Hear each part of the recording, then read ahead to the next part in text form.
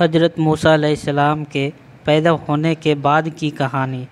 हज़रत मूसा के दुनिया में आने से पहले फ़िरौन को किसी ने खबर दी थी, बनी इसराइल लोगों में से एक लड़का जल्द ही पैदा होगा, उसके पैदा होते ही फ़िरौन का सारा साम्राज्य ख़त्म हो जाएगा।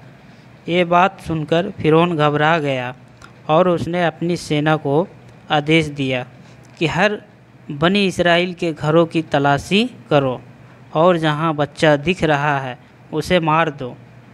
फ़िरौन सिर्फ़ बेटों को मारना चाहता था। बेटियाँ होने पर वह उन्हें छोड़ देता था। फ़िरौन का आदेश मिलते ही सिपाही बनी इसराइल के घरों की तलाशी में निकल गए और एक एक करके उनके बच्चों का कत्ल करना शुरू कर दिया। जब हज़रत मूसा अलैहिस्सलाम की माँ को इस बात की खबर लगी, तब वह भी डर गई।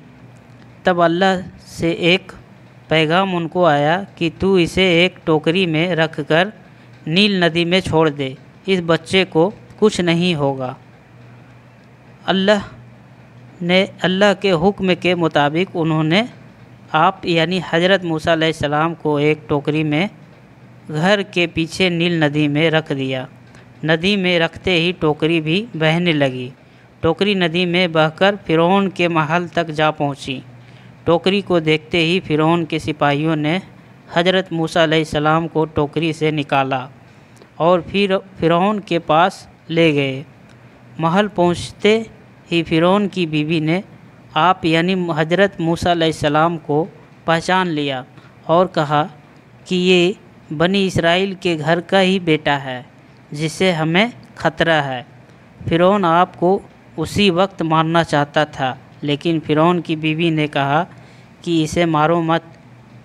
इसके ज़िंदा रहने से हमारी आँखों को ठंडक मिलती रहेगी कि हमारा दुश्मन हमारे सामने ही है और हमारी कैद में है। हो सकता है ये हमारे लिए खुश नसीब बच्चा हो। फ़िरौन ने उसकी बीवी की बात मान ली और आपको अपने महल में रख लिया। जब आपको भूख लगी थी तब फ़िरौन ने उसके यहाँ काम करने वाली औरतों को बुलाया और कहा कि, इस बच्चे को दूध पिलाओ, ये भूखा है और रो रहा है। लेकिन अल्लाह की कुदरत देखो, कोई भी औरत आपको दूध नहीं पिला पा रही थी। सारी औरतें दूध पिलाने में नाकाम रही। फ़िरौन समझ गया था कि ये कोई मामूली बच्चा नहीं। फिर दूध पिलाने के लिए आपकी माँ को तलाशा गया और तलाश करके आपको दूध पिलाया गया। एक हदीस के मुताबिक आप, यानी हज़रत मूसा अलैहिस्सलाम फ़िरौन के महल में ही बड़े हुए। यहाँ तक कि ही अठारह साल के जवान भी उसी महल में हुए। आपने हज़रत शोएब की बेटी सपूरा से शादी भी की। हज़रत मूसा ने बड़े होकर लोगों को समझाया कि फ़िरौन की पूजा करना बंद करो और एक अल्लाह की इबादत में यकीन करो। एक हद तक लोग उनकी बात मान भी गए थे।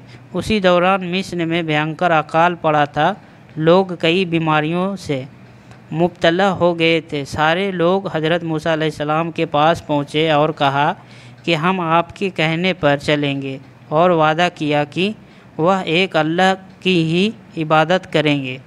जब लोग बीमारी से ठीक होने शुरू हुए और हालात पहले जैसे होने लगे, तब लोग फ़िरौन के डर से वापस उसकी पूजा में लग गए। उसी दौरान फ़िरौन के जुल्म से लोगों को निजात दिलवाने के लिए हज़रत मूसा अलैहिस्सलाम ने फ़िरौन को चेतावनी दी कि, और कहा कि वह लोगों पर जुल्म करना छोड़ दे। और लोगों को ग़ुलामी से आज़ाद कर दे। लेकिन घमंडी फ़िरौन को इस बात का कोई असर नहीं हुआ। दोस्तों, आपको इस वीडियो, ये वीडियो आपको देखने में कैसी लगी, ये कहानी कैसी लगी हमें कमेंट कर आप ज़रूर बताएँ। और आप हमारे चैनल पे नए हो तो चैनल को सब्सक्राइब करके ज़रूर रखें। ये वीडियो आपको एक अच्छी और बहुत बड़ी सीख देगी।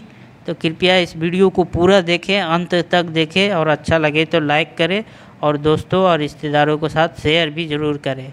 तो दोस्तों, मिलते हैं फिर हम आप लोगों के साथ एक नए वीडियो में, एक और नए चैप्टर के साथ।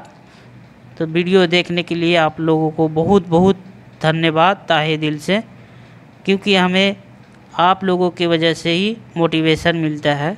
तो दोस्तों, आप लोग लाइक, शेयर और ज़रूर करें। और चैनल पर नए हो तो चैनल को सब्सक्राइब भी करके ज़रूर रखें, ताकि हमें और भी मोटिवेशन हो।